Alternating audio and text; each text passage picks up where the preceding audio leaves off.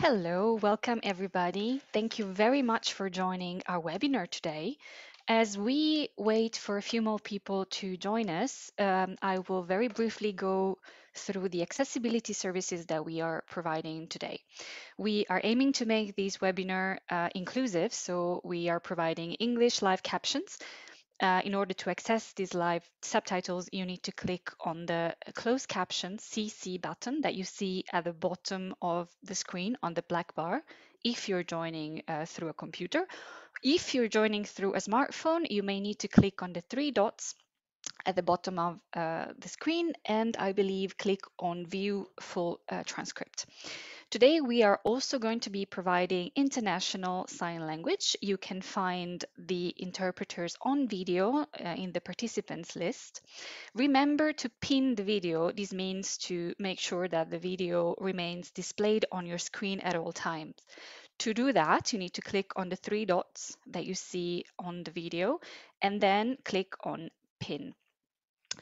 We are also providing simultaneous interpretation into Arabic, French, and Spanish. To access the interpretation, you need to click on the glow button that you see at the bottom of the screen next to the closed caption button. Um, if you click on it, you'll see English, French, Spanish, and Arabic as uh, language options. If you do not see Arabic, it might be that you're not, uh, you do not have the latest Zoom version installed. So you might want to disconnect, install the new version, and then connect again.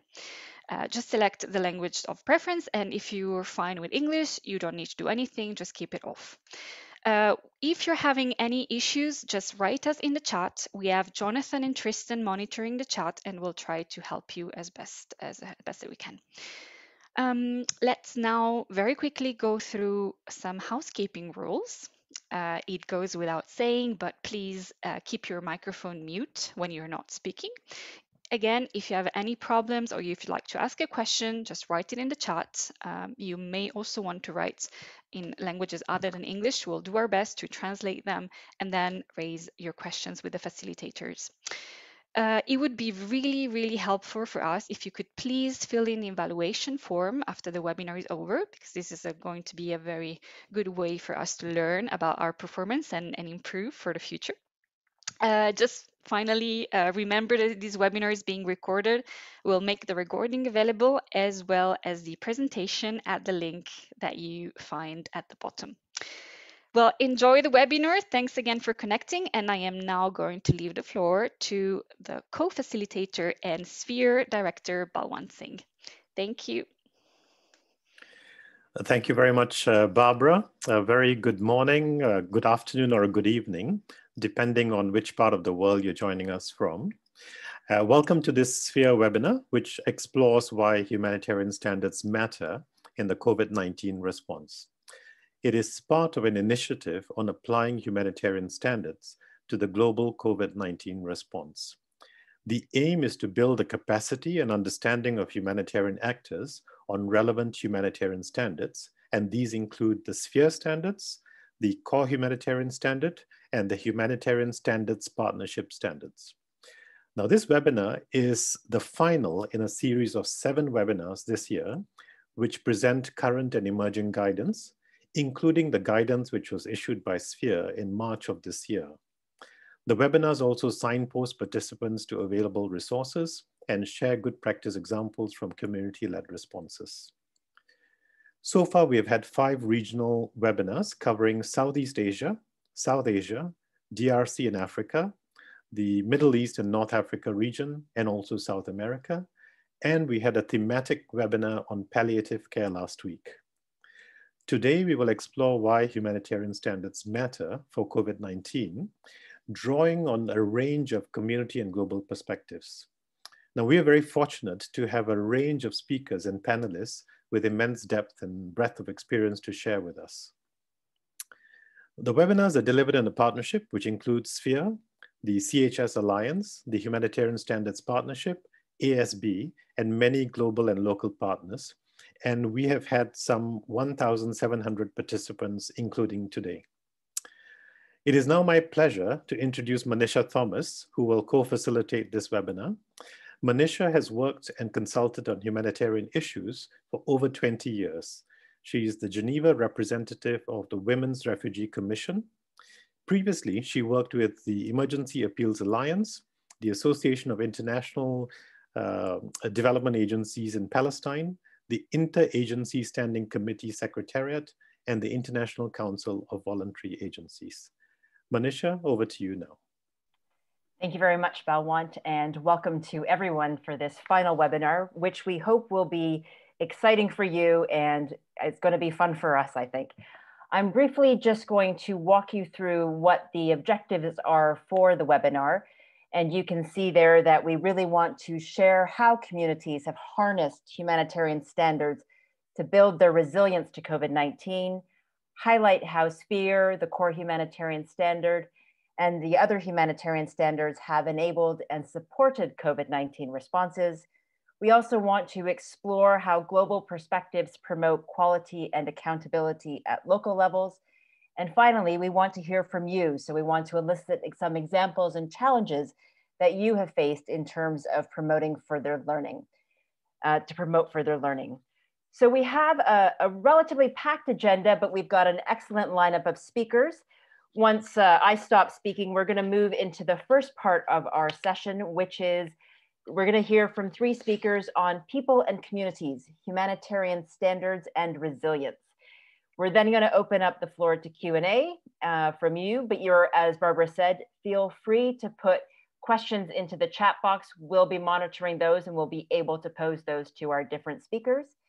We'll then turn to the second part of our webinar, which is looking at global perspectives and local realities. And that's going to be a panel discussion with four speakers and then we'll come back again to you for Q&A, and then we'll have some closing reflections on humanitarian standards matter. And then we'll close at 1, 3.30 promptly Geneva time. We're also going to make sure that you are engaged in our webinars. So what we are going to do is start off with a short poll to sort of see, make sure that you're able to interact with our Zoom platform, but that you're also telling us where you're joining us from.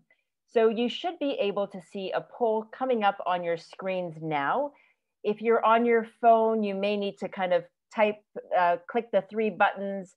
Otherwise, Jonathan is already posting the questions in the chat box, so you can just type your answers there. I'm hoping that uh, everyone is seeing the poll. So you just click on which region you're based in, and that way we have a sense of everyone's participation from where they're coming who's up really early and who's up really late in the world. Give you a couple of sec minutes to just fill that in, please. So far, Europe seems to be the most well represented, already at 45% of our participants.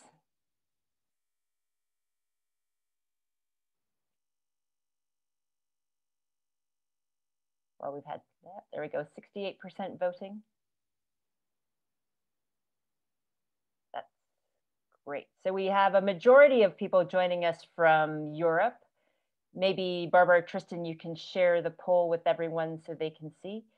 You can see we've got 41% from Europe with the second most represented is Asia, followed by Africa, then Central and South America, North America, the Middle East being second to last, and Australia, Oceania.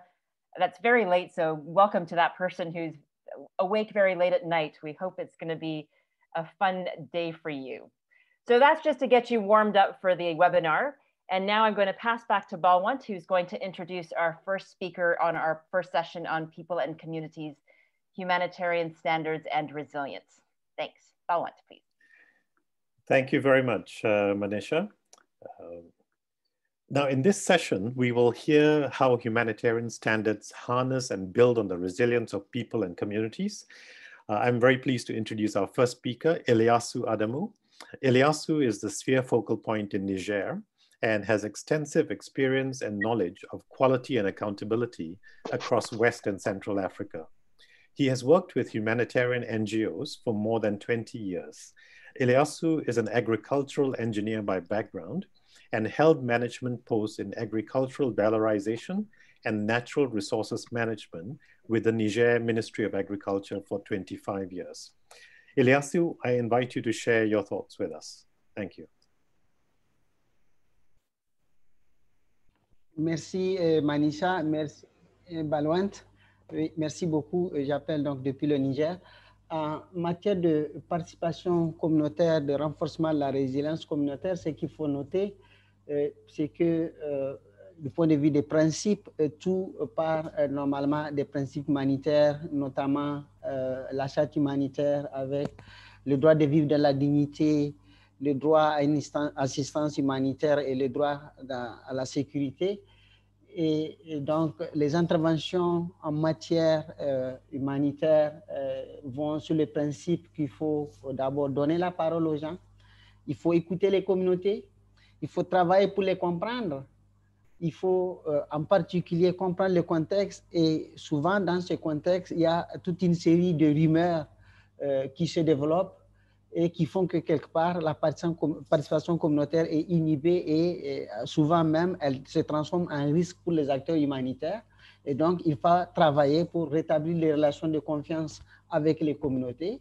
Il faut susciter, si vous voulez, l'engagement communautaire et ça, ce qui permet aux humanitaires de le faire, c'est justement la charte humanitaire, les principes de protection, mais c'est aussi surtout la norme humanitaire fondamentale de qualité et de redevabilité, notamment euh, si on prend les exemples de l'engagement numéro 3, l'engagement numéro 4 qui demande à ce que les communautés aient accès à une information à temps, l'engagement numéro 5 qui dispose que les communautés euh, disposent de mécanismes sûrs et réactifs qui leur permettent de dire leur point de vue sur la réponse et sur la crise.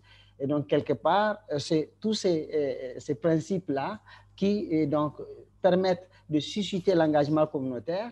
Et c'est cet engagement communautaire qui est un facteur d'amélioration de la qualité et de la redevabilité de l'intervention, d'autant plus qu'on crée l'espace aux communautés, on les écoute, on sait ce qu'ils veulent, comment est-ce qu'ils le veulent, quand ils le veulent, et on appuie en ce moment, simplement, on, développe un plan d'action qui va se baser sur un plan de communication. Une fois qu'on a rétabli la confiance, on s'est compris et qui va permettre aussi de donner l'espace aux communautés qui vont engager avec les acteurs humanitaires un certain nombre d'actions dont les communautés seront même les porte-parole et les maîtres de l'action et on a vu euh, dans certains chantiers humanitaires, notamment lors de la riposte contre le COVID-19 dans certains pays de l'Afrique centrale, notamment en RDC, que euh, à partir du moment où la confiance est installée avec les communautés, les communautés euh, donnent l'information, elles font du porte en porte, elles font de,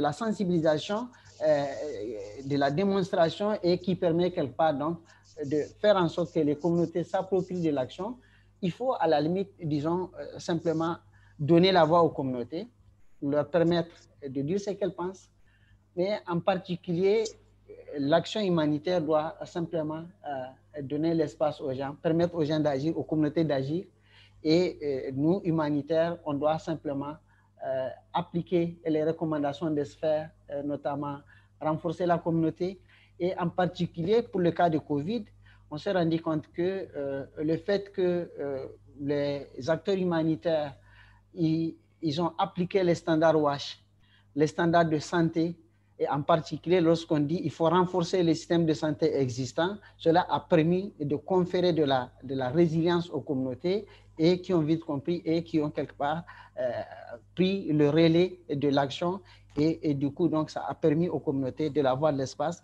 de démontrer leurs compétences, d'avoir confiance aux acteurs humanitaires.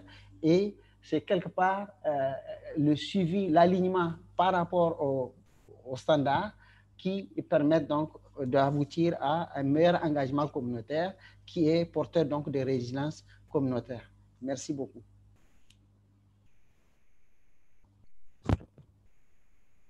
Wonderful. Thank you so much, Ilyasu. Really appreciate your perspectives of really working with communities and reinforcing standards. It's my pleasure to introduce our second speaker, Ms. Diana Hiscock, who is the Global Disability Advisor for HelpAge International. She also represents CBM Global on the Humanitarian Standards Partnership Steering Committee. In recent years, Diana has been actively engaged in the development, dissemination, and use of the humanitarian inclusion standards with other standards and guidelines across the sector to better ensure the inclusion of those of persons with disabilities in humanitarian responses. Diana, I pass the floor to you, please. Thank you, Manisha. Um, hello, everybody. Um, so uh, thank you for the previous speaker, very interesting. So my, my privilege to join the platform here is to highlight the way um, standards um, the, uh, from the HSP um, um, have been used in COVID responses. And as well as that, I'll try to highlight some of the challenges we're facing. Um, we do appreciate the important timing of this webinar uh, to reinforce our continuing engagement with Sphere in a time of the increasing challenges in supporting to communities to reduce risk and resilience. Um, could you just put the slide up? Is that there, please? Thank you. So just to reinforce for those who may not be familiar, the, the HSP standards are child protection, education, livestock and livelihood, market analysis, economic recovery, and the humanitarian inclusion standards. And it, really, they are so relevant now to the COVID response, um, not only in displacement settings, but even at national response planning. And I think it's uh, we have a, a, strong voice here with through the Sphere platform to better engage across um, different platforms to, to strengthen the, the value of aligning um, the, the, the, the, standards in, into different developments as we move along to becoming more resilient. Um, I would say it's difficult to ignore, ignore their contribution at this time when looking at the topics um, that are covered, as I just mentioned. And, and we're, we're adapting to the work, all of us are, to help teams on the ground to contextualize the guidance to meet their local reality. And that's actually a, a very big piece of learning that we, we maybe need to more reflect on. And it's been a very big learning curve for us all. Um, however, the reality of the COVID response in, in, in our work um, has led to many challenges by nature of the blanket response to save lives and protect communities. Um, and we've had such a lack of consultation, um, as expressed in the previous speaker, that's so important. And we've found that a lot of people are left challenged to understand how best to manage their daily lives. So as we move, move forward, the, the learning from trying to push um, the value added um, coming from using the standards, we, we've, we've really noticed there's a dramatic increase in um, people, different people being stigmatized and discriminated. Um, and I can speak uh, uh, on behalf of older men, women, men and women, boys and girls with disabilities have, have, been really excluded throughout the pandemic. And we need to do better to, to better address um, our, our, inclusion lens. Um, and from, from my lens from working on the humanitarian inclusion standards, um, we have a lot more work to do. We've also found a lot of risk messaging tended to be blanketed and was not considering um, access accessibility for all, unlike this webinar, which is incredibly accessible. Um, and, and a good model that we need to, to look at. The lack of attention also we've, we've recognized on the growing mental health issues across the sectors uh, that are commonly um, reported and um, realized is also something we need to build better into our response plans and um, building that into the, some of the guidance in, in our work has been um, a learning curve that we can we can build on. Um, the, the, just the last point, really, the, the pandemic restrictions puts pressure on people's incomes and livelihoods, and and changing un, uncertain daily routines for many have increased a lot of violence, abuse, and neglect within families and communities, and um, support within our standards also has been um, strengthened in many in many ways in, in our work. So just to, to final point is, for me, the um, positive learning that's come out of this very difficult time um, is that we've increased our networks, both globally and locally in humanitarian sectors. And it's the, the, the drive to um, promote the use of the Humanitarian Standards Partnership with Sphere is bringing new opportunities to learn um, and share to build on um, building back better in this new context. We, we see it's a very timely um, well, it's a very good time to encourage more opportunities to build back one of our strategic directions in training with new networks online and use the digital platforms that Sphere is promoting um, to, to see if we can build on and adapt our responses and resilient plans for the future. So I think that's um, just from some initial words and I'll finish there. Thank you very much for the opportunity. Thank you very much indeed, uh, Diana. Uh, now to build on, on what Diana has covered, our next speaker is Shumon Gupta. Uh, Shumon directs a consortium delivering essential health for the disadvantaged in Bangladesh.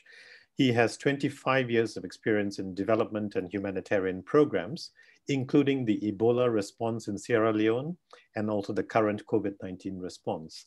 Previously, he was regional representative for EngenderHealth and also country director with Save the Children and Marie Stopes International in both Asia and Africa. Shumon, uh, over to you to share your insights and experience uh, with us. Thank you. Thank you very much, Balwant, for the generous uh, introduction. Without much ado, uh, at the outset, I would like to say that as uh, development partners, we have realized the importance of humanitarian standards even more strongly in our COVID response. In particular, the need to avoid exposure to harm, the need for timeliness and for better coordination and uh, protection. Having been involved in the Ebola emergency response in West Africa, I found many commonalities, uh, uh, although the challenges in COVID-19 response is even more staggering. And given limitations of mobility, uncertainties of supply chains, and constraints posed by uh, uh, the need for infection prevention and control, it's become even more difficult to meet all standards fully. In my brief presentation, I will share three challenges that we have faced and how we have tried to overcome these and ensure that we remain accountable to beneficiaries in uh, Concern Worldwide. We prefer to call them program uh, participants as well as communities. So the first challenge has been um, to ensure adequate community engagement and feedback. feedback. Uh, for this, we have tried, uh, we have trained our field workers so that they can engage in the field while protecting themselves and communities. We do not want at any cost to expose communities and beneficiaries to risks and cause more harm. So training on infection prevention and control was key and ensuring supplies of appropriate personal protective equipment and disinfectants was essential. And, and very, very importantly, when we started doing this retraining for our field teams, we once again reminded them of the sphere, sphere standards and to be out, be on the lookout for any potential violations. And we had to develop special checklists to see whether we are meeting these standards or not. Of course, we met many, we didn't meet some, and I'll discuss that. The the second challenge was that there was a lot of there were a lot of rumors and uh, misinformation in the communities about COVID-19. For example, the notion that it was an airborne and waterborne infection, and this led to conflicts in community water distribution points. Another misconception led to high demand and consumption of chloroquine and antibiotics, as a result of which uh, it created morbidities, but also these drugs vanished from the shelves overnight and stigma of those testing positive or even showing symptoms of cough and fever was also very high. We had to act very quickly and along with our partners, we developed a strategy to give correct information to people in local language we inter interacted with mothers care groups and youth groups and encouraged them to narrate their personal stories. So uh, hence we got very valuable insights from them about rumors and misconceptions circulating in the community as well as their fears and concerns and what their immediate needs were. We also, we took the opportunity to make them aware of the basic facts in simple language and how they should protect themselves, their households and communities.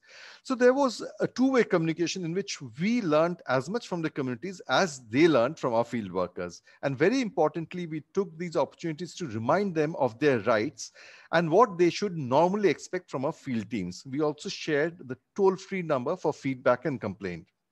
So to give an example, one of the feedback we received, uh, we got uh, was that women were not getting access to antenatal care services and neonatal care. Institutional deliveries had almost gone down or had gone down dramatically. So, and this leads me to the third challenge, which is of declining access uh, and utilization of essential healthcare service, which we consider as one of their basic rights. So to address this, we provided access to safe telemedicine services to communities by setting up uh, telemedicine booths next to healthcare facilities so that they don't didn't have to get into the health facility for basic healthcare and could receive advice, including referral for a COVID-19 RT-PCR test if necessary. We launched a micro health insurance scheme in which extreme poor and disadvantaged people could get essential healthcare services through available private sector health providers and NGO clinics. For the first six months of the pandemic, the premium for this micro health insurance was free And we used mobile phones to send out messages and provide a toll free number so that people could call back and give their feedback or complaints to a central office for remedial action. To give a very good example, a story if you like, we received a complaint from the community that they had to make a payment for the free health insurance scheme, which they were not supposed to make. They were not supposed, it was supposed to be free.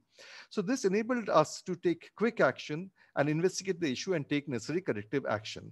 Thus, despite the challenges, we were able to ensure a minimum level of accountability to beneficiaries and communities. In our COVID response, in order to increase accountability to, of duty bearers, we are working closely with local authorities, health facility management committees, and community groups to gauge availability, accessibility, and utilization of basic healthcare service. This is our means of ensuring better, greater accountability of different duty bearers. The nature of the pandemic has made it particularly difficult to meet sphere standards as much as it has become absolutely necessary to try and meet them to the maximum extent possible. So we have not given up. As mentioned earlier, we have tried out alternate solutions through community groups and through digital platforms to engage and get feedback from communities in order to improve accountability. So I will end my presentation by saying uh, thanks to Sphere for keeping us on our toes. Thank you very much. Thank you so much, Shumon. And thank you to all three speakers. You've really provided us with some excellent examples of how you've been able to respond during the COVID times crisis and ensuring that humanitarian principles and standards are being respected while really working with communities, but then also identifying a number of lessons that we really need to be taking into consideration. We now have the chance to open up the floor to you in the audience for any questions or comments that you may have. And you can either raise your hand and we can give you the floor, or we can also take your questions from the chat box. There was already a comment earlier on about how whether we admit it or not, refugee camps are not well treated which maybe is something that somebody would like to have a, a reflection on one of our speakers. But please, if there's anyone in the audience who has any questions or comments, please ask away.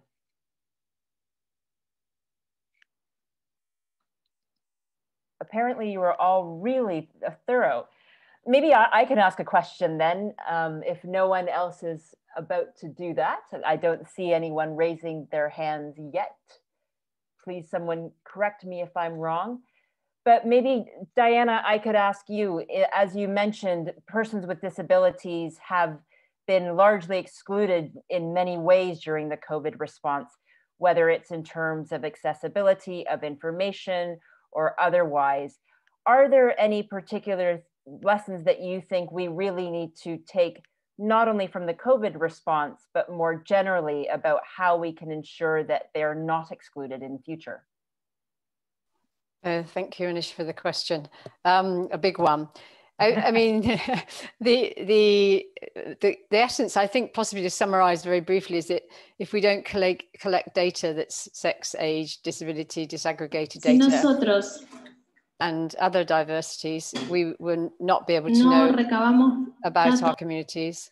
Um, if we don't identify the barriers, i.e. our attitudinal, our environmental, institutional barriers, we won't be able to understand the community's needs. And the most important thing is if we don't hear the voices of the people in their their their community their accessible ways, we will never understand um, how we can adapt our programs and, and our responses. And that has been very seen very clear. No one's in most um, COVID areas has discussed that issue with a person who has diverse needs to know how to adapt, even in information that comes in on a piece of paper. If you have a visual impairment, how do you see it? Um, if, if it's a loudspeaker and you're deaf, how do you hear it? So there's really basic, simple steps you can put in place, but data, barriers, participation, three key steps to inclusion. So those would be the key messages I would suggest. Thank you. Super. Thank you very much for that, Diana. There was a question or a comment in terms of some of the examples about how they relate to the core humanitarian standard commitments, for example, information sharing with communities, commitments four and five. I know that we will be coming back to the core humanitarian standard in the second half of our webinar. But if Shumon or Ilyasu, you have something there that you'd like to raise, please do bring that up. I also have a question now from Nicholas Ross, which is, does the practice of standardization help to slow down humanitarian support? If yes, how can this be mitigated? And we've also got another question for Diana. What from Uni, what concrete actions are needed to use the experiences on access in this pandemic to be converted into policy action or influencing governments?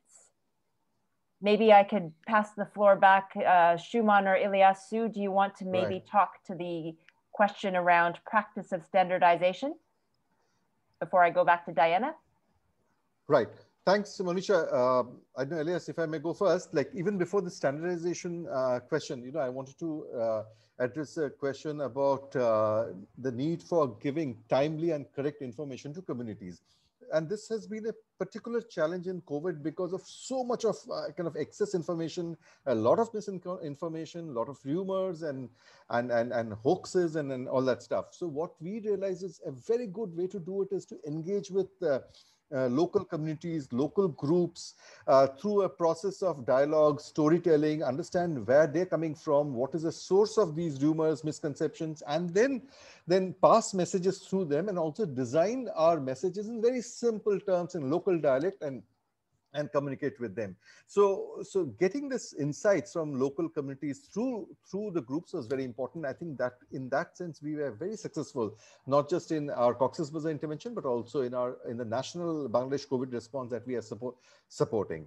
In terms of uh, standards, of course, uh, the the if I got the question right. If you are raising the standards, it's going to be difficult to meet them and it might slow things down. But, but sphere standards are really not uh, new in that sense. We have been working around these on these for, for many years back. It's just that the, the, the, the scale of the problem has uh, magnified significantly in, in COVID. And we've also had some, some learning from the Ebola response. So of course, I think at the end of the day, uh, kind of in it a lot depends on, on how agile we are, how much, you know, we can uh, continue to maintain our contacts with communities using various methods through groups or through digital platforms so that, uh, you know, we can continue to engage with them and ensure that we maintain these uh, standards to the maximum extent possible. It is, of course, challenging, uh, but, but that's, I think, why we are all around uh, to address those challenges. And, and the sphere standards are a constant reminder what we should aspire for. So thank Super. You. Thank you very much, Shumon. And Ilyasu, before I pass to you, we've got a few more questions in case you want to pick up on any of these. There was a question about, uh, no, I've lost it, sorry. Do you have any experience of dealing with rumors or fake news through sphere or humanitarian standards? And another one around how do you know or measure adequacy when you talk about adequate community engagement? Are there any indicators that you use to give at least a sense that you have adequately engaged people and met standards, particularly during COVID times? And there's also another question. I'm just throwing them out there so you can answer the ones you can and then come back uh, around how can you enhance social mobilization efforts to spread awareness messages among communities in low resource settings. Ilyasu, may I pass to you to see if you can tackle some of those, please?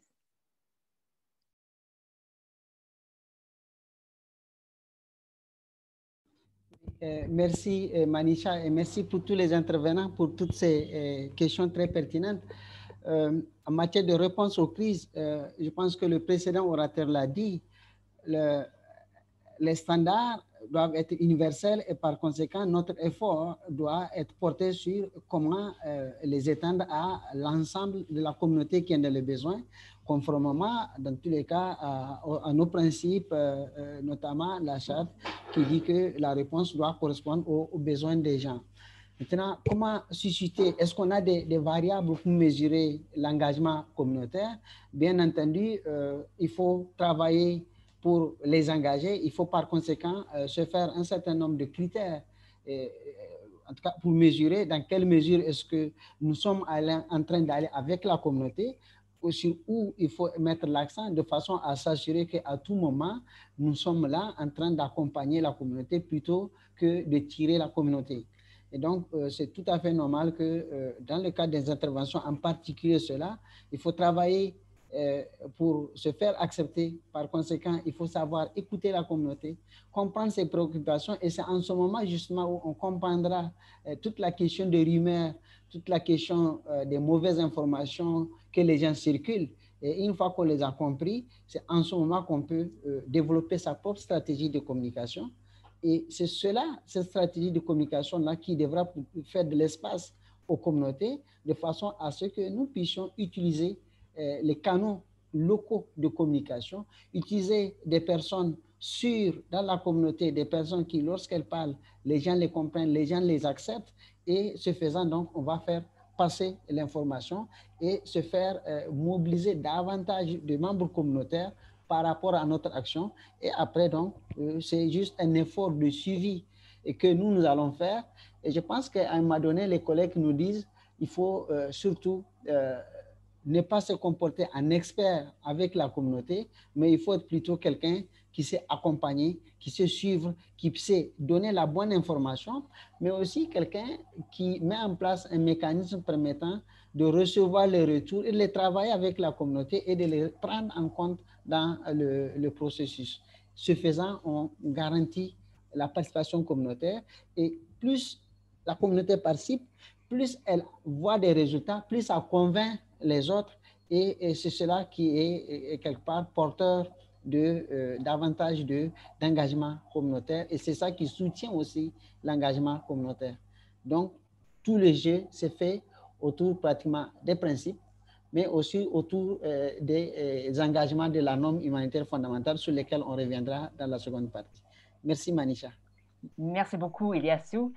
Thank you very much. And Diana, we had that question for you from earlier around what concrete actions are needed to use the experiences on access to be converted into policy action or influence governments. There's also another question around how does the humanitarian sector coordinate and collaborate with central government during a preparedness or response period? And I'm not sure if you want to come back on that one as well, but if you can, that would be great. And there's another question, and I'm going to stop the questions there so that we don't run out of time. There's one around resource mobilization being a big challenge in the context of COVID how can we effectively engage with donors and with private sector donors? If any of you are able to speak to that, but we can also leave that question for our second mm. session mm-hmm. where we have a panel. But Diana, perhaps I can turn to you. Okay, um, some very interesting questions. So to, to, go back, how do we uh, bring the messages to the policy level? Well, um, if we're looking at inclusion lens here, I mean, it, the usual messaging is do we engage adequately with older people's associations, um, organizations of people with disabilities, to be actively engaged with the sector activities that we're doing to, to have that messaging um, ripe so that when we go to policy level, we have an inclusive voice.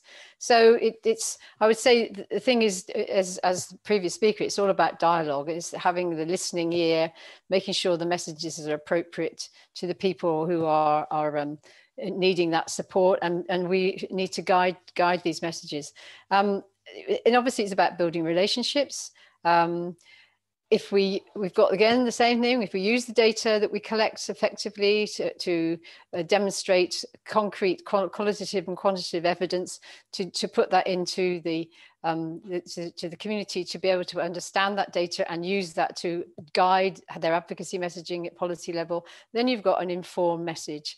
Um, and it, it's it's a good solid platform to take discussions forward. And that's that's the approach we we try and use. And whether it's with an organization or without an engagement, you, uh, an organization, for me, that's the starting point to, to um, mobilize the communities um, to, to recognize who, who's in the community first before you can have the right message. Just a few points, huh? Thank you. Super, thank you very much, Diana. I'm gonna see, uh, does uh, Shumon or Ilyasu, did you wanna come back uh, before I close up? Shumon, please, I see your hand. Yeah, thanks, thanks.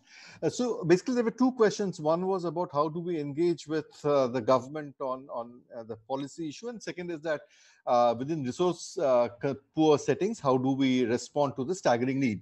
So, uh, what I can share about what we did in in Concern Worldwide. we decided right from the beginning that whatever we do in our COVID response, we would align it completely with Bangladesh's National uh, COVID uh, Preparedness and Response Plan (NPRP).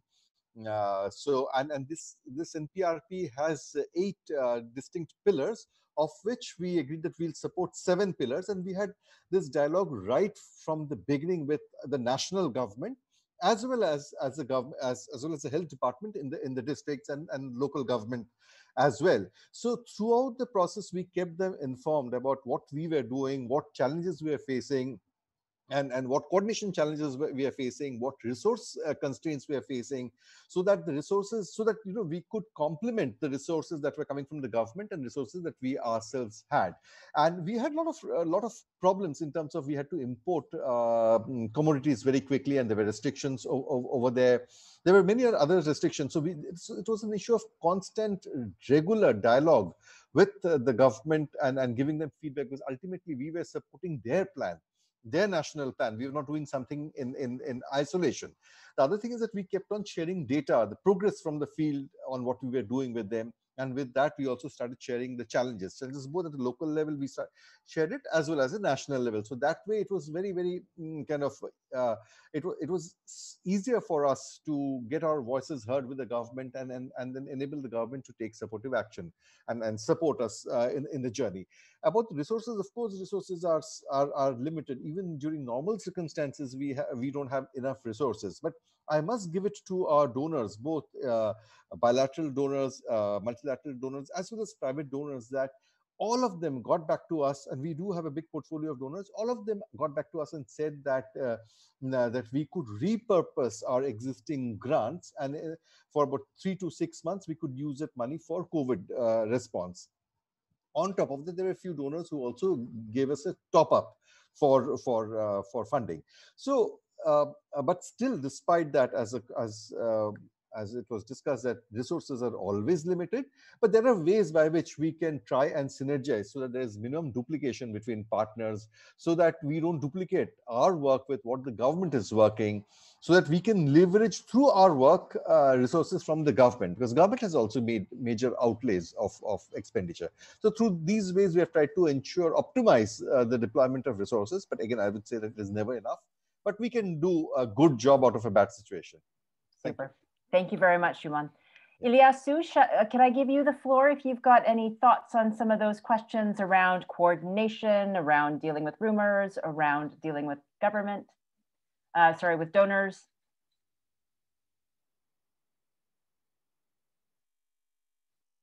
Ilyasu, if you're speaking, you're on mute, I think. Oui, euh, euh, Manisha, juste un peu euh, par rapport à, la coordination, les relations avec les services gouvernementaux. Nous avons compris particulièrement dans le cadre de la lutte contre Covid-19 que les principales actions qui portent fruit sont celles-là, en particulier en matière d'action sanitaire, qui consistent à s'aligner, comme l'a dit mon précédent orateur, à s'aligner sur le plan du gouvernement, à se coordonner avec les autres acteurs de façon à ce que la réponse soit complète, mais de façon surtout à euh, éviter de se dupliquer, de se marcher les uns sur les autres, mais aussi surtout de façon à renforcer les systèmes existants.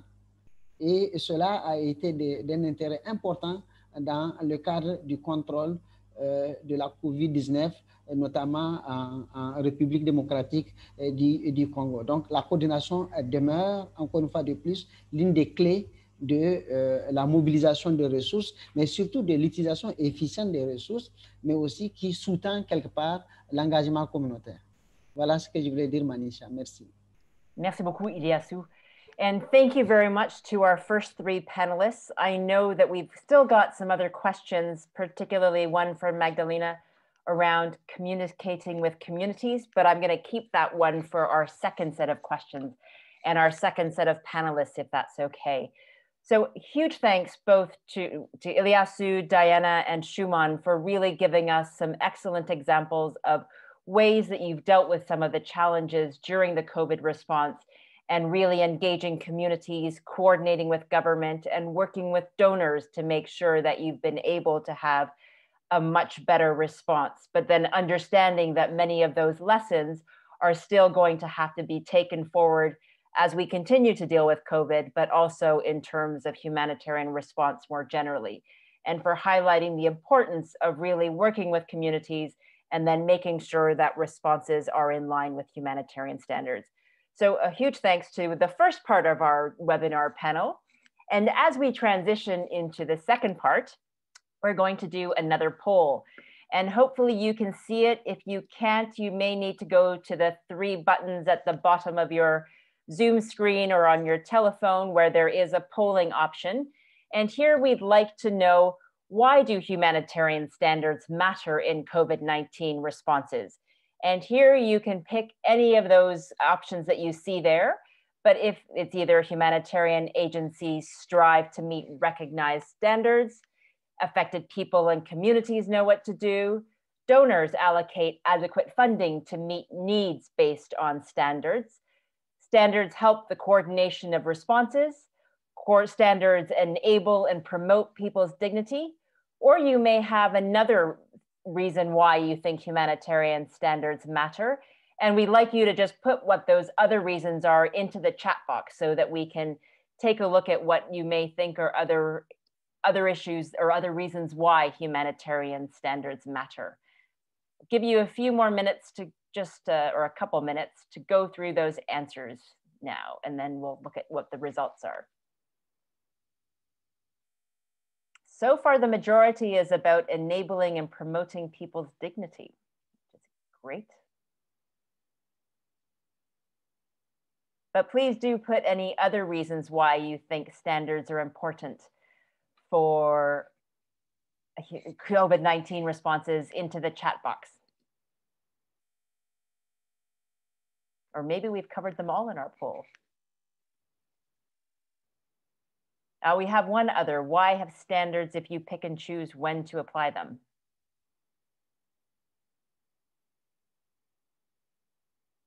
I'm not sure I...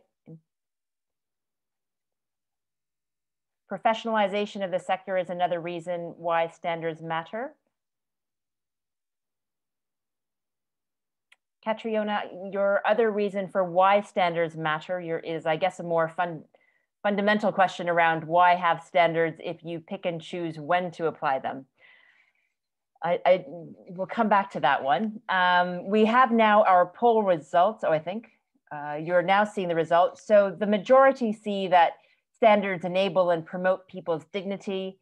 The second most popular answer is around helping the coordination of responses we then have at the same 51% agencies strive to meet recognized humanitarian standards. And we have affected people and communities know what to do. And then we have finally donors allocating adequate funding to meet needs based on standards. And some of the other ones we have are professionalization of the sector, because information and aid and aid is a right, not charity the need to maintain minimum standards in camps, and enabling quality, including compassion, dignity, and agency, essential life-saving support to affected communities, and oh, and then Catriona, thank you for clarifying, is that if we think standards matter, which they do for many reasons, then we need to apply them consistently. Indeed, absolutely. Um, yes, and acceptance from everyone is the other one. So there's a great sort of recognition that standards can really help us in terms of enabling, promoting dignity of people, that it really does help to create a better response. And so that is a very nice way to lead us into the second part of our webinar, which is now going to be a panel discussion on global perspectives and local realities. And for that, I will pass over to you, Balwant. Thank you very much, uh, Manisha. And it was very helpful to actually see all the comments and the feedback. And also I wanted to touch on a question that was raised earlier on, which linked to some of the comments that were made during the poll as well. Uh, and the question was about uh, standardization. Does the practice of standardization slow down humanitarian support? Uh, I would argue that on the other hand, it actually speeds up support because everyone, uh, humanitarians who are responding, communities who are receiving support, donors who are funding it, governments who are leading uh, response as well, all know what's expected of them. So in a sense, it, it speeds up the, the, uh, the, the, support itself, but also ensures that there's a, a quality and an accountability element in there as well. So anyway, let me take you into the, the next session where we will expand on some of these thoughts. And having heard how communities have responded to COVID, we now turn our attention to exploring how global perspectives have taken account of and support local realities in the application of humanitarian standards. And we have lined up for you a panel with immense experience and insights. And we will ask them to share their thoughts on some key questions. So let me first of all introduce the panel. Uh, first, we have Linda Doull, who's the Global Health Cluster Coordinator with the World Health Organization. Uh, she has over 25 years international health and humanitarian sector experience, having worked with Medical Aid for Palestinians, Médecins Sans Frontières, and Merlin. Linda took up her current role in 2014 and is responsible for overall coordination and strategic direction of one of the leading global partnerships for humanitarian health, with 30 active health clusters and 900 partners. Thank you for joining us, uh, Linda. Our next panelist is Alan Calma. Uh, Alan is the Global Humanitarian Coordinator with LWF World Service. He's also the Global CHS focal point for LWF and also serves on the CHS Alliance board. He has more than 24 years experience in the humanitarian and development sector. Alan has dedicated his professional life to strengthen humanitarian development peace linkages through a rights-based approach with a focus on accountability to affected populations. Thanks for joining us, Alan. Next, we have Tanya Wood. Tanya is the Executive Director of the CHS Alliance, a network of more than 150 organizations that make, uh, make aid work better through the application of the core humanitarian standard. She brings more than 20 years leadership experience in the humanitarian sector across Asia, Africa, and the Americas. Passionate about improving collective efforts, she worked with a range of international membership organizations before joining the CHS Alliance. Welcome, Tanya. And finally, uh, we have Aninia Nadig. Aninia is the policy and practice lead at Sphere, and she joined Sphere in 2008. She also coordinates the Humanitarian Standards Partnership, which is hosted by Sphere. Aninia was closely involved in the 2018 Sphere Handbook revision.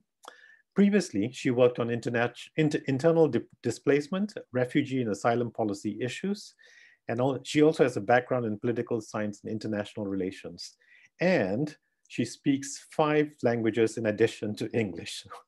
Thanks for joining us as well, Aninia. I'm going to take, uh, uh, you know, take go go down the panel and, and, ask you one or two questions each, and and if you can take a, a minute to respond to the questions, that'd be very helpful. So, Linda, let me start with you. Now, the COVID-19 Global Humanitarian Response Plan, which was revised in May of this year, added a reference to the importance of sphere and humanitarian standards. Can you tell us how this has promoted adherence to an, an application of SPHERE and other humanitarian standards? And what more needs to be in place and how? Over to you, Linda. Okay, thank you, uh, Balwant, and greetings to everybody online. Good to join you. Um, Okay, so big question. Uh, so let's start at the top. So improving quality of humanitarian assistance has been a continual goal for the humanitarian community for many, many years now. The development of SPHERE, other interagency policies and guidance, uh, including AAP, PESA, protection, and other guidance commitments, including CHS. So it, we're not without our, our standards. I think, however, um, reflecting it in the GHRP was, was a reminder to us all that regardless of the scale or type of crisis that we are responding to, that all assistance and services provided must meet the needs of the affected people and also be delivered to the required standard, whether regardless of which actor is providing those services. So as has already been stated by previous speakers, COVID was very new to everyone. It required everybody to rapidly adapt to not only their own needs, but also population needs that we're serving. We had major operational challenges, shortages, etc. So de facto, it, it meant that we had to deal with new issues that we had never dealt with before. And the question has to be, how could we apply standards? Were those standards relevant in that context? And similarly, the imposition of public health and social measures, while they were a bit of a double-edged sword in that they may have slowed transmission, but had a negative impact on many of the populations that we were already working with, particularly women, IDPs, migrants who had mobilization, uh, mobility curtailed or were unable to access or utilize health services. So from a global health, health cluster perspective, it allowed us to reiterate the need to use that um, accountability lens to remind us of the consequence of any actions that we took um, and um, and discuss that and, encourage our colleagues at country level to be able to address needs and maintain standards at the same time. So how did we do that? Well, one through the existing global health cluster standards uh, guidance on quality of care in humanitarian settings. Um, we were sure that the interrelated domains had to be considered in any of the response plans that the cluster was developing. So the response must be people-centered, it must be safe, equitable, effective, timely, integrated, and efficient. And that those actions need to complement existing key obligations that we have within the humanitarian um, operations. So all that have already been mentioned, for example, humanitarian principles, AAP, centrality of protection, and particularly around health, the issue of medical ethics.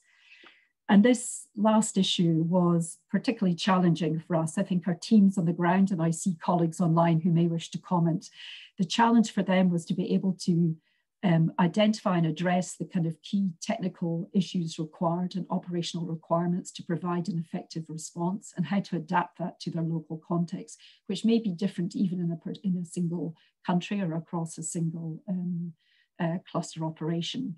And that required some very difficult decisions on how to, in the, in the face of often shortages of key materials and items in the early days of the response, and in fact, even now, how to address dilemmas and make decisions about how to, re, to allocate uh, um, scarce resources in these low resource uh, settings, and to make sure that we fully understand our obligations to those who cannot access some of those settings. So rather than abandoning particular types of population, having an understanding that in multiple settings, we may have to take different approaches and that to, to for that to be acceptable, it obviously required the community, local community to be involved in that process.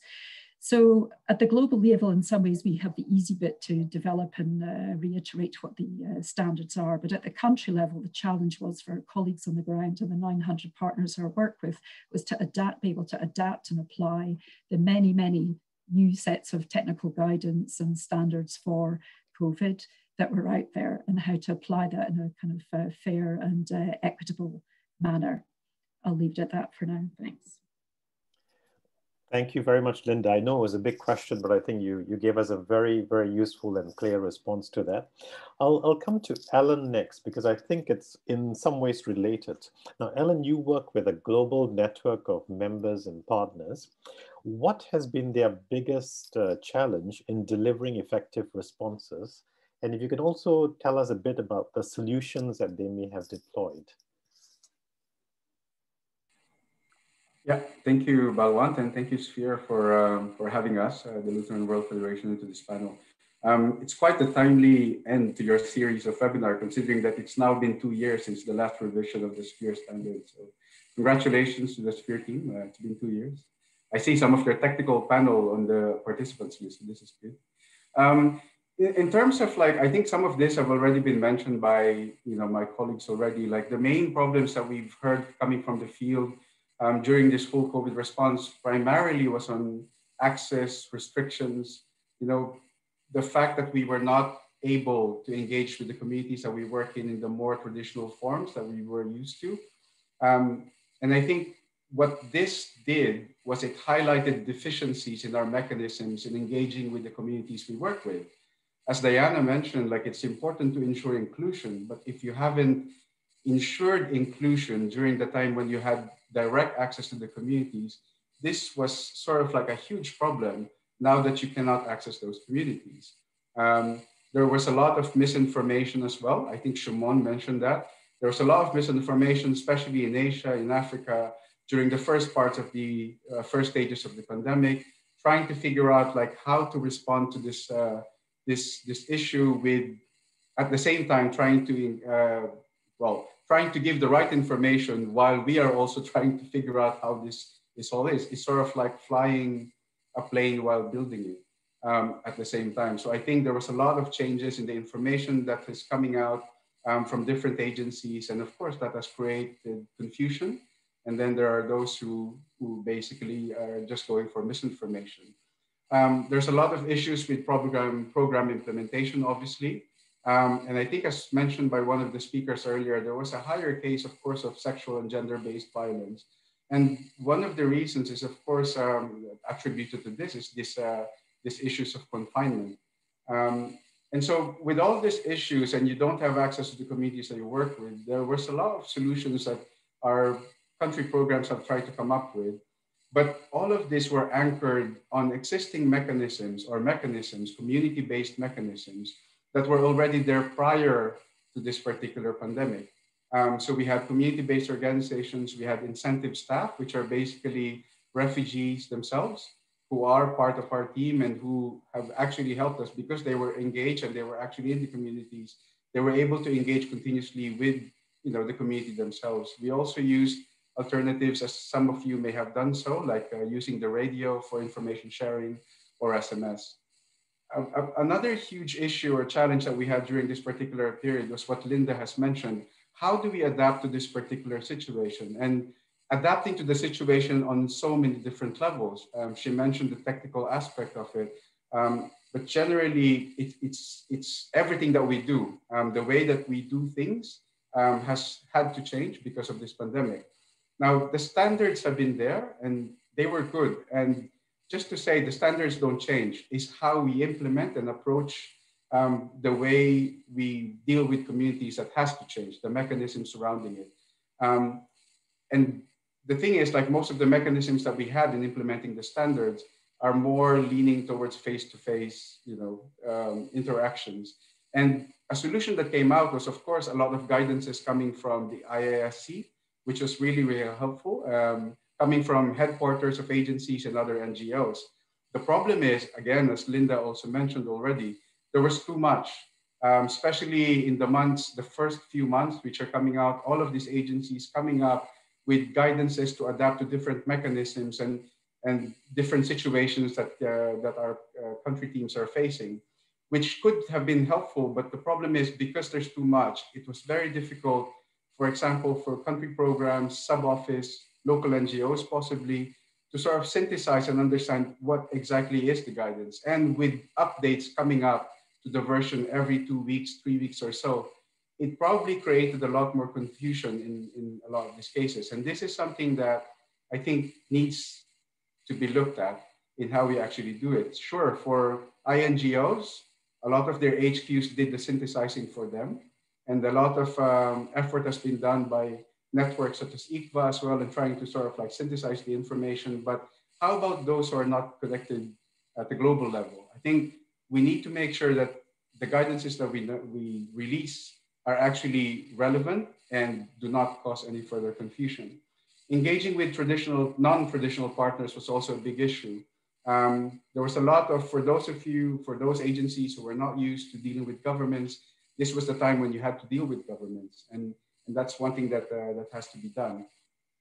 Last two issues that I think uh, were very much prevalent uh, during this particular issue was the pandemic was the issue on funding flexibility.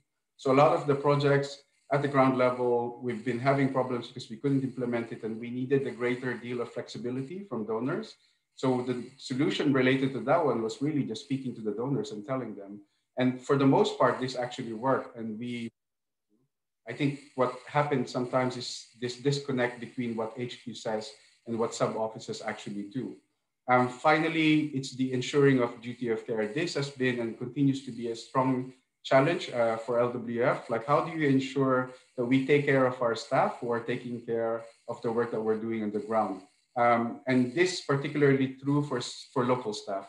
a lot of the guidance coming out from agencies do cover international staff, but we need to focus more on how do we protect uh, local staff. For us, um, we ensured inclusive guidance. We had staff rotation options, both for local and international staff. But more importantly, which we found useful is psychosocial support. But I think overall, the biggest issue is that not all solutions can apply. You know, as uh, Diana mentioned, blanket solutions don't work. And in this particular case, um, that's exactly what it is. The situation changes based on context, and not all situations applied to communities can be applied to refugee settings, like what was mentioned earlier. So it was sort of like making us think on our toes.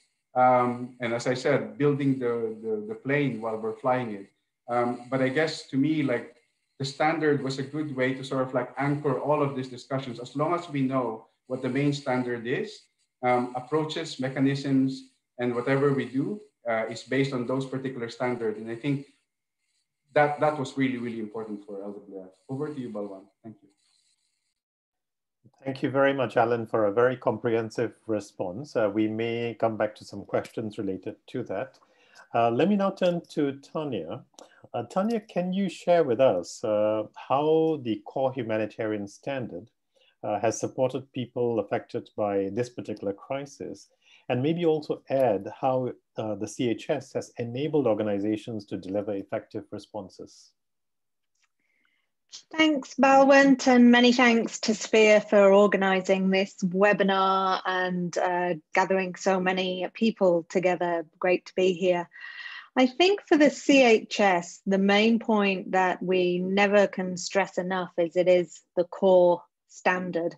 And that means that it outlines the essential elements of principled and effective aid. And also, the most powerful thing I think around the CHS was that it was written as a set of commitments that the sector is making to people affected by crisis. But, and I think we've recognized this for a while, but maybe COVID accelerated this, was while the intention is there that these are written as a set of commitments, they're not that accessible. Um, we've heard a lot during this webinar about accessibility. They weren't accessible to people. So at the beginning of this crisis, we've turned them into plain language and we have a set of plain language, CHS, with the intention that we've asked our members and we're continuing to plead uh, that organizations put these up so that they are accessible to people. And why is this important? Well, the intention of the CHS was that if people knew what they can expect, then they might be able to hold the agencies to account. So that um, push of COVID with the sort of the, the nervousness about people being in confinement was around this accessibility of people knowing and understanding their rights. In terms of maybe going into, so that's a sort of more general ethos, but if we go into maybe some of the more um, maybe more technical areas or a couple to highlight around how COVID has changed. Um, I saw in maybe it answers Randini's question and certainly echoes what Alan was just saying is one of the areas in the CHS, one of the commitments, commitment five, which is around complaints are welcomed and addressed, is our, I think our failing commitment. It's the one that we are, our CHS data shows that we consistently underperform on as a sector. And we continue to see that with uh, the reports and the constant reports that we hear of the most sort of serious form of abuse when people aren't able to complain. So obviously with the confinement that people were put under and this lack of being able to connect with people, we were very concerned about how this would impact on, on complaint mechanisms. So we've just finalized a study that looks at this and the results aren't surprising to anyone, but again, um, we, we know it, but what can we do about it? Um, over half of the people who engaged in that study said their complaint mechanism had been kind of negatively affected because, as Alan just uh, said, they were built on face to face. And so we were really struggling to change that into um, a means of more remote versions. And I hope we will learn from, from this COVID example of not going from one to the other, but how could and then um, it's been highlighted, but our concern is, and what this report says, is that the number of complaints around sexual exploitation and abuse or harassment dropped significantly. And I don't think any of us on this line would expect that that wasn't because those were incidents weren't happening, but we aren't hearing about them. And then if I may, Balwant, just my very final point, because I don't think we've touched on it um, too much, although maybe Alan just raised it before, is one of the core areas of the CHS is the belief that to be able to assist people well, we need to be able to look after our workforce and the staff who support them. And so obviously what we're seeing is huge changes in how we work. In a parallel Zoom world right now, we're having the humanitarian HR conference where a strong message is it's not about when we go back to normal, it's about adapting to the new normal.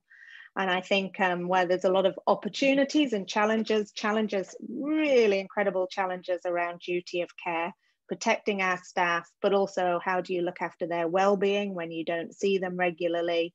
But also, I think some, maybe to end on a positive note, some opportunities around more flexible working, maybe reducing some of our incessant travel, and hopefully maybe a real push or maybe even the kick that we needed to more localized and um, nationalized uh, humanitarian response. So those are just a few of the elements to, to highlight. Thanks, Balwant.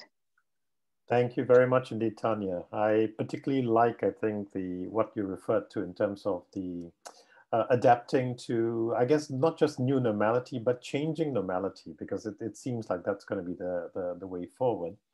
Uh, on that note, let me invite uh, Aninia to add to that as well, to tell us a little bit about how sphere standards uh, you know, can be applied in different local contexts and realities, and maybe also touch on, on how this happens in, in very different urban and rural contexts as well. Uh, Aninia, over to you.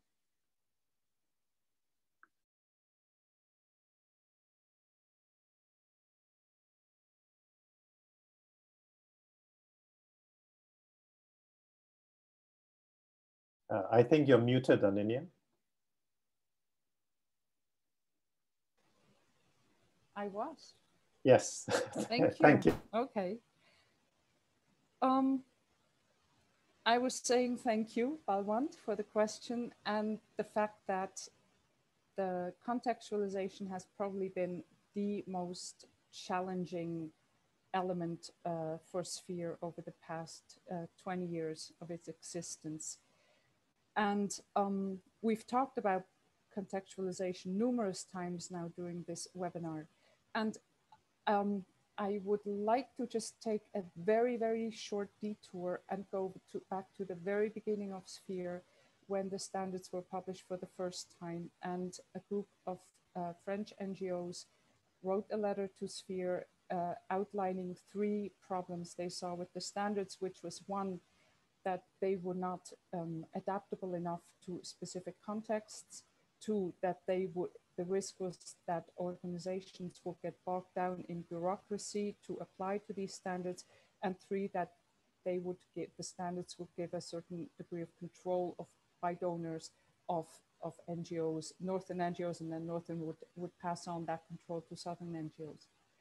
And I think that we are that um, those concerns are still there. We heard some of them today. And Sphere has, over the past 20 years, made consistent efforts to make the standards more contextualizable or to bring across the message of contextualizing. And we've heard it before. Alan said it. The way you contextualize a global standard is by understanding the difference between the standard, which is um, a, a, a qualitative outcome statement of a right, and then the indicators that help you um, measure that and that you can um, um, adapt to, to context as need be uh, according to your to um, what you can deliver to uh, limitations and so forth. And um, yet there continues to be this frustration that people can either not reach a sphere indicator or they feel or they feel that their particular context is is not conducive to working with standards. Um, so the key message is don't be discouraged and use the indicators also as something aspirational to work towards. And the other element I wanted to say is that over time, Sphere really has put increasing focus on context. For example, through strengthening themes that focus on local realities, including protection, psychosocial, spiritual support, and the inclusion of various um, at-risk groups. And this edition also has different uh, indicators. We've reshaped the indicators to make contextualization easier. And to bring that element to a, a concrete example, the um, urban contextualization, that also urban elements are stronger in the handbook now. Simply, my message is, and I will probably stop right there, all standards, since they express a right, are also applicable to urban uh, situations. Some indicators may not be useful, like, I don't know, or, or guidance how to dig a borehole or how, how long you have to wait in line to access your water.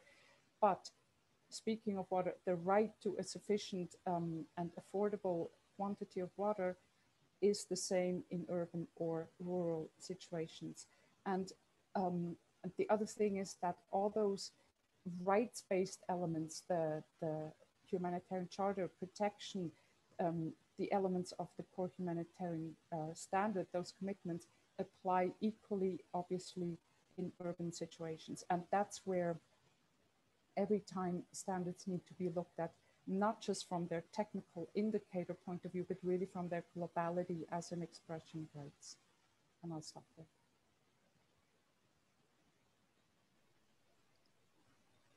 Super. Thank you very much, Aninia. Um, and thank you to all our panelists. We had expected this to be a bit of a quicker round of and questions and answers. So I'm going to now combine some of the other questions we had planned for our panelists with some of the many questions that are coming in through the chat box and also by email. So I'm going to just read out a few of the questions that are coming in. Some are quite big ones, so I'm just going to group them a little bit there had already been a bit of conversation around the challenges of communicating with communities.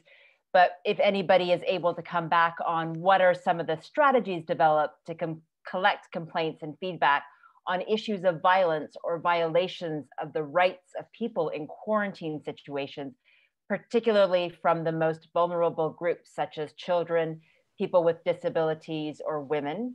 Another question was really around the huge challenge of implementing sphere standards and if there's any communication plan with donors on the need to increase support more than ever.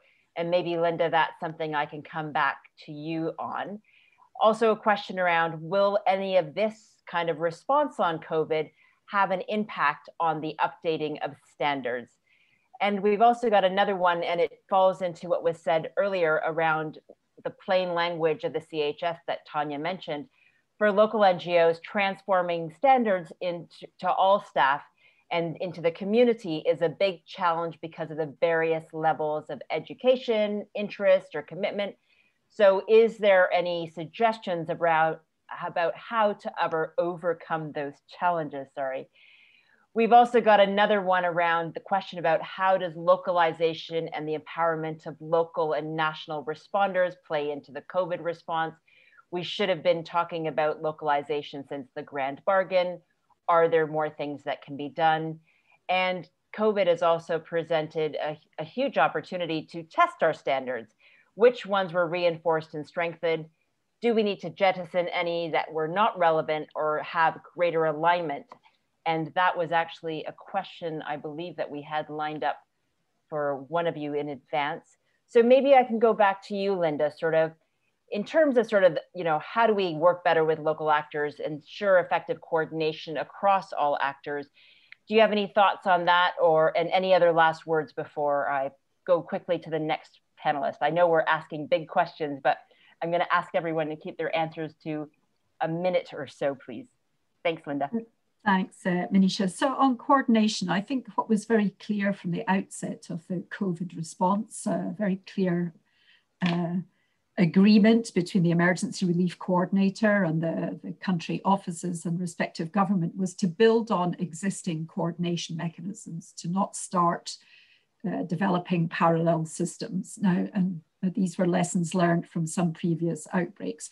Now, to some extent, that's been helpful because people know how to engage. But we know perfectly well that at the subnational level, the sub-subnational level, the local level, where really this response uh, needs to be fully focused, that that's often the weakest part of the coordination. It's often not particularly resourced by the international community and perhaps local partners are not as engaged um, as they are, often not through lack of desire, but lack of resources to do that. So I do think moving forward, the success of the COVID response moving forward will be based on localization and adaptation.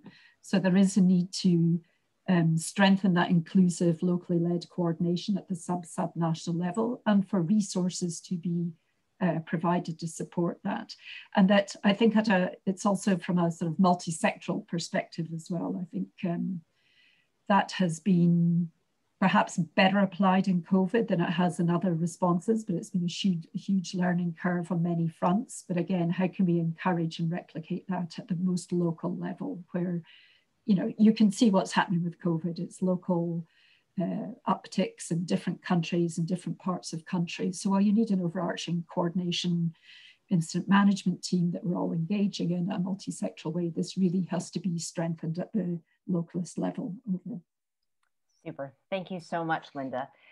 Alan, if I can turn to you and that question around what standards have become re not relevant or need to be jettisoned, what would you also recommend are some measures for harmonizing humanitarian standards for the users so that it is easier for people to, to use those? Uh, thanks, Manisha. I think uh, if, before I go into that, I think um, standards have played quite an important role in as far as this crisis is concerned. If, if you think about it, like um, when all else fails and you're all alone, if you have an understanding of what the standards are, both as a person um, receiving uh, uh, or working as an NGO or the communities we serve in, then you have the standards to re rely on to. Um, I think CHS is all about empowering communities and the commitments that we have there is about how do we make sure that they are listened to, as Aliesu mentioned, and Sphere is about ensuring the standard in providing quality service and knowing what they should expect. Um, and I think the frustration is, of course, on accessibility of this standard. So in terms of what to jettison, I don't think there is anything to jettison. In fact, I think we're beginning to understand where the weaknesses are in terms of what the, the commitments that we have, whether it's in the indicators, whether it's in the accessibility of language, whether it's in the way that we made people understand. I think one of the um, participants, Iqbaluddin, mentioned that you know, we have communities of different levels of education. How do we make sure they understand? So what, what happened was we sort of identified what the problems are with the standards that we have. Um, but another thing, as I said, again, it's not about jettisoning the existing standard because I think it's there. Like it's, it's, it's the product of years and years of discussions amongst us humanitarian actors. And I think there's a lot of it in there and I don't, I'm not calling for a huge sort of like a, a what's the word? Um, um, overhaul. Overall of the digital process. But I think it's about preparedness important to ensure understanding and implementation prior to emergencies. You know, when I moved from the development sector to humanitarian sector, one of my frustrations was, why are we only talking about preparedness and, and standards when the actual crisis is already there? We need to be better at preparing about all of these things. Um, what has worked in our programs and it's when our programs and the communities we work with are familiar with the standards, they know what to do, they know what to expect, so that when the crisis actually happens, um, you know, it, it's, it's, it's easier. Community level structures are very important. This is one of the things that the CHS is trying to say, like we need to build up on existing mechanisms, complaints mechanisms, for example. When your existing organizational complaint mechanisms don't work, it's probably because it was not built into the existing mechanisms in the community. One thing that we've seen working in refugee camps and in communities is when we build on existing complaints mechanism and strengthen those, then when the NGOs were not able to access, then they just continue doing what, what what's happening at, at that particular point. Um, at a certain point, there has to be a level of trust between the organizations and the communities we serve. And that can only be achieved if you all agree on a, a common understanding of what the standards are and what needs to be delivered. Thanks, Manisha. Super. Thank you very much, Alan. Tanya, maybe you could touch upon a little bit around how, what are some of the remaining challenges around using the CHS to deliver responses effectively in COVID, but maybe also a little bit around that point around communicating with communities and how has it been possible to collect complaints from those who may be more vulnerable in, in communities?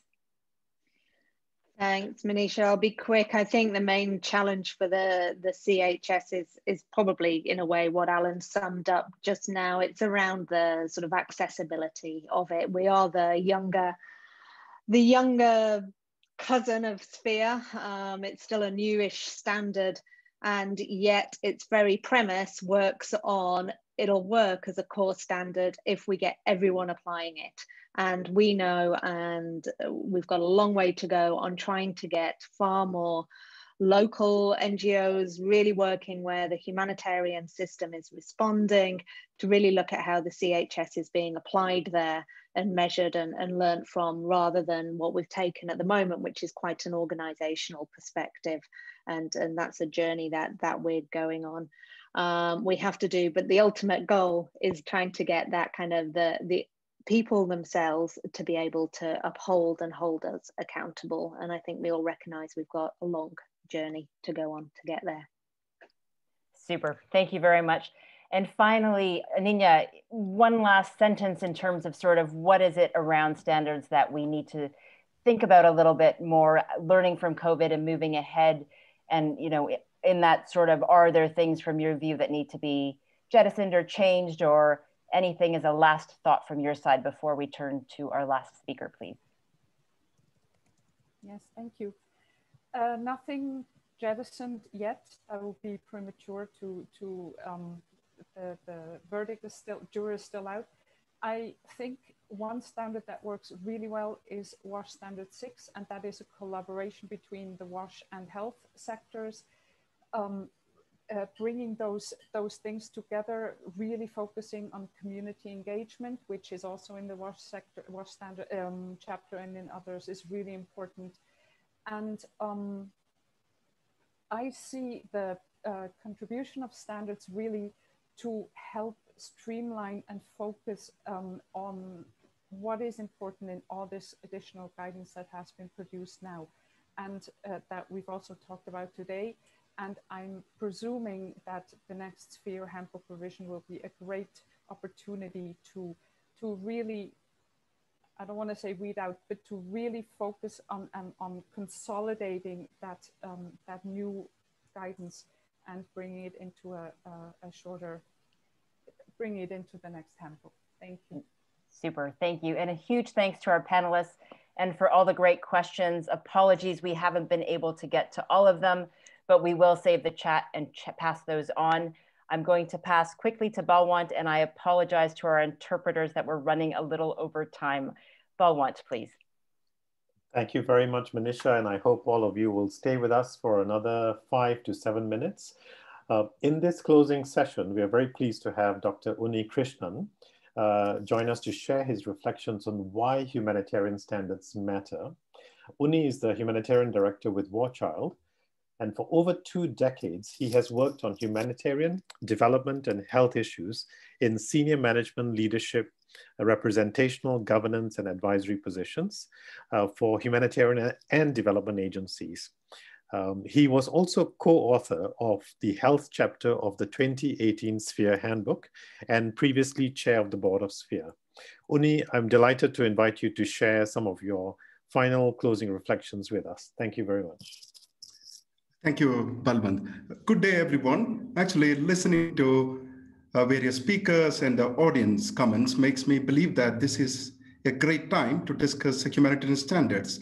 So good job, Sphere team, and thank you for inviting me. So to prepare for this uh, webinar, I spoke to community practitioners and advocates of humanitarian standards, both internally in War Child as well as with others in the sector, I actually learned three things.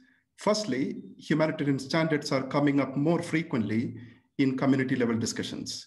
Secondly, dominant aspects of the crisis are receiving better attention, and so are the standards associated with them.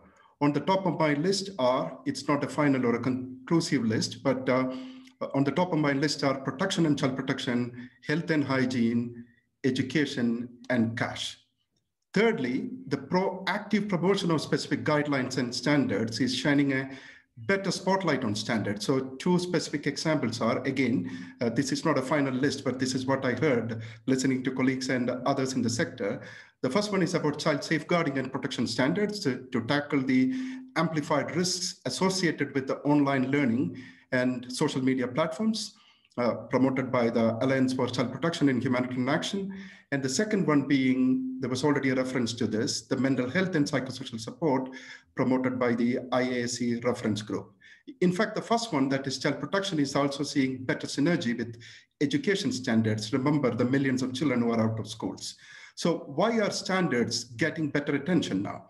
One reason, just one reason being, but I believe it's an important reason, the response to the pandemic is more local than in other crisis settings, diminishing the borders between the community and community workers. This makes a stronger case to place crisis affected people and their dignity, which was voted as the number one purpose of the standards, and caring of carers, especially local frontline workers, at the heart of all initiatives. The standards are also inseparable from the bigger issues affecting the humanity during a global humanitarian crisis.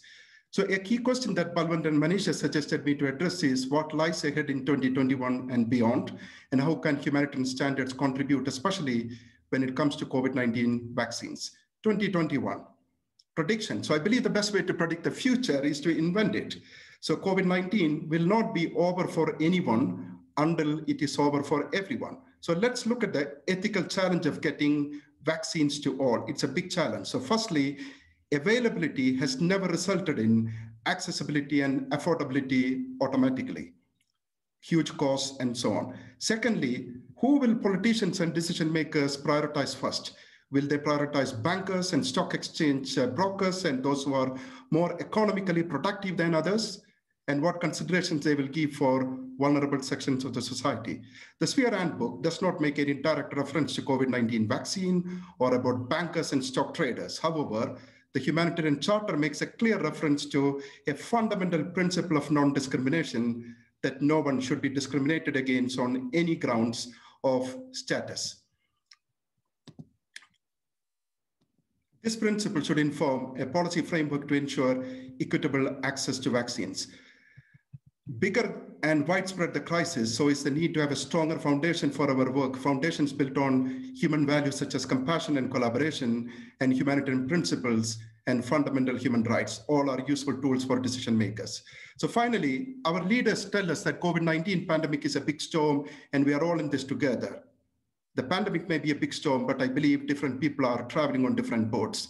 Some boats are shaky and broken, and so are the passengers on such boats and they are extremely vulnerable, such as refugees, elderly, children, and migrant workers. The key point being there are no winners if we leave anyone behind. And I believe the humanitarian standards can go a long way to ensure that no one is left behind. Thank you for listening.